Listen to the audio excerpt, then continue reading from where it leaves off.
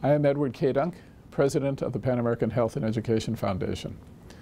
Today I have the pleasure of speaking with Dr. Peter J. Hotez, a leading figure in the field of public health and neglected tropical diseases.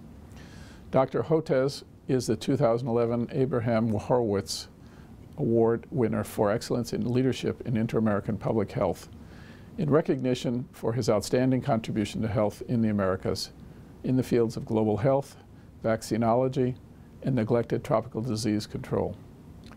Since 1975, the Abraham Horwitz Award for Excellence in Leadership in Inter-American Public Health recognizes leadership that changed lives and improved health of the people of the Americas. The award was created to honor the lifetime accomplishments of Dr. Abraham Horwitz, former PAHO director and later PAHEF president. The award is one of six in the PAHO PAHEF Awards for Excellence in Inter-American Public Health Program, which was established in 1975. Why has your path led you to focus on neglected tropical diseases rather than some of the better known diseases such as HIV, AIDS, tuberculosis? Well, thank you for that question. You know, when we talk about big global health problems, there's so much attention to conditions such as HIV AIDS, and of course that's an incredibly important uh, disease uh, throughout the low and middle income countries of the world. But we often forget that the most common conditions affecting the world's poorest people, a group we sometimes refer to as the bottom billion, the 1.4 billion people in the world who live below the World Bank poverty figure.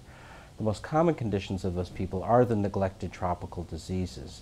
These are conditions such as hookworm infection and schistosomiasis and Chagas disease and leishmaniasis and elephantiasis. I like to say they're the most important diseases you've never heard of. They're the most common conditions of the bottom billion, including the poorest people in Latin America, the 100 million people who live on less than $2 a day in the Western Hemisphere. As you know, uh, there's much focus on Africa in terms of public health which has translated to the shifting of donor funds from other regions of the world to Africa.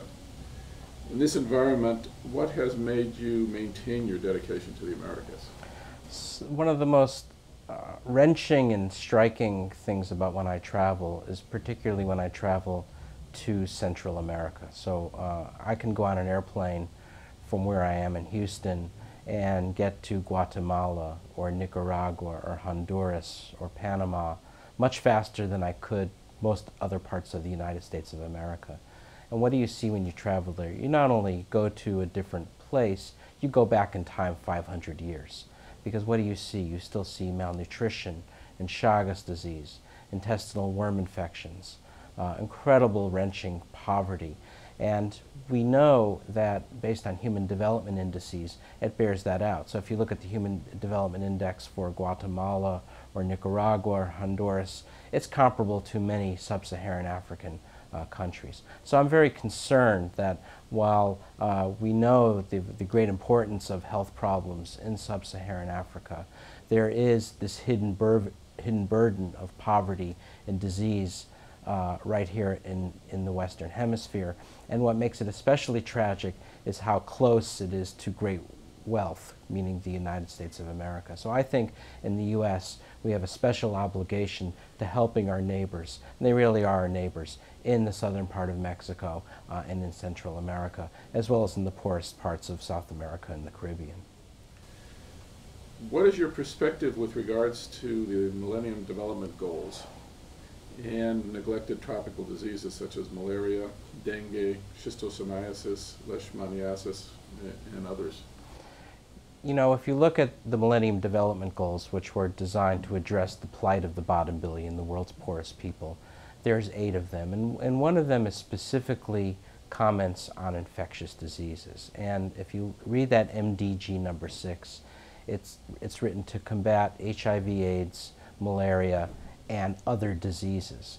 And I think the problem is they called it the other diseases because, you know, be, if you look at what's happened with HIV, AIDS, there's been this massive advocacy push over the last decade through the One campaign or, or PEPFAR, the President's Emergency Plan for AIDS Relief, which has pumped billions of dollars in putting people on antiretroviral drugs. Or you have now the Global Fund to fight AIDS, then they added TB and malaria. The problem is for the other diseases. They're called the other diseases, and we don't have a Bono or an Angelina Jolie standing up and say, now we're going to take on the other diseases. And so this is why we, our, our work focusing on neglected tropical diseases is, is so important, because it gives a voice to other diseases, and it gives a voice really to forgotten people uh, with these forgotten diseases. Again, these conditions, the other diseases, are the most common infections of the world's poorest people, and we are now developing strategies for their control and even elimination, particularly in the Americas, and I think that might be possible over the next decade. Thank you. Uh, Dr. Hotez, for your important contribution to the field of public health and specifically neglected tropical diseases. And of course, congratulations on winning the Abraham Horwitz Award for Excellence in Leadership in Inter-American Well, thank you for this uh, great opportunity, and again, to give a voice to uh, the 100 million poorest people in Latin America with those neglected tropical diseases. I'm deeply appreciative.